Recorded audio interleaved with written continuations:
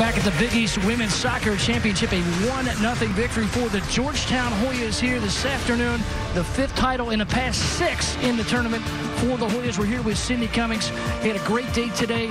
First, you had the goal in the 64th minute. It was off a header, a service from the corner. Talk about that goal and what you saw and how you were able to put it in. Yeah, actually, I was supposed to be setting a pick for Julia Leas, and I think the defenders just got lost, and the ball was right there, and so I just followed through. Um, we've been working really hard on our corner kicks, and we just were hungry. We wanted it, and so that's what we did. You transferred in for Brown, a successful program there. You integrated yourself into the Hoyas. You had a big stop on Johnny Kajan, who had a lot of pitch in front of her. How big was that play in your success today? Yeah, I mean, she's incredible, as you know. I mean, her stats speak for themselves, and even playing against her, our game plan was to shut her down. So um, it just means staying focused the entire game, and when those stops come, not getting flustered and, and making the stop and making the play.